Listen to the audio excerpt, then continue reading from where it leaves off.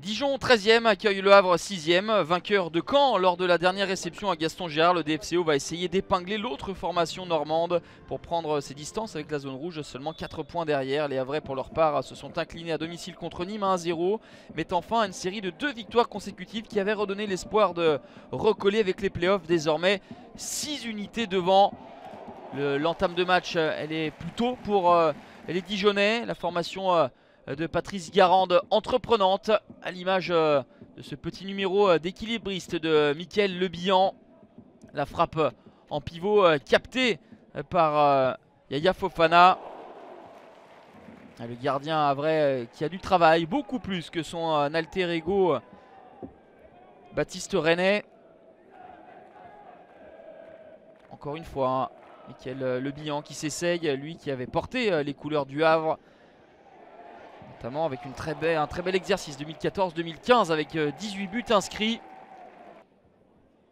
Le bilan, c'est l'attaquant le plus en vue du côté du euh, DFCO. Lui qui est associé à, Valentin Jacob en attaque 0 à 0. C'est le score à la mi-temps.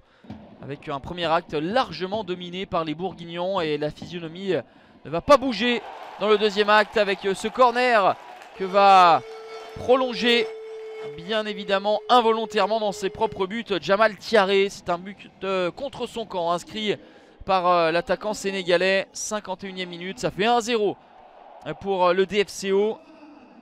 Allez, à vrai qui vont euh, devoir mettre les bouchées doubles pour essayer d'égaliser. Eux qui n'ont concédé que deux défaites sur leurs 18 derniers déplacements.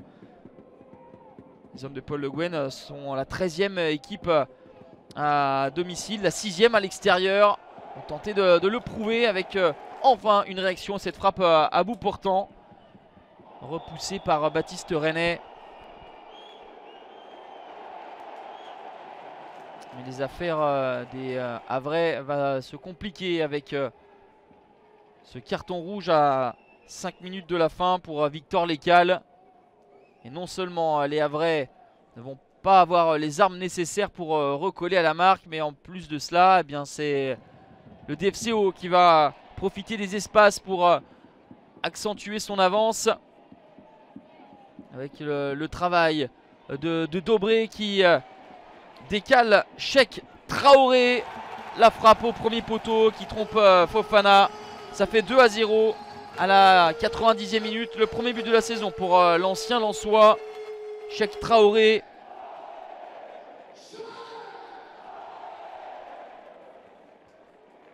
Dijon euh, qui a réalisé une belle partie. 5 euh, euh, clean sheets en 9 matchs en 2022. En voici un sixième en 10 rencontres.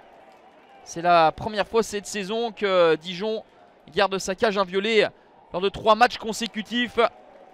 On va rester là, victoire 2 à 0 des Dijonais qui euh, ont pris 7 points en 3 matchs et basculent en première moitié de tableau à la 9ème place.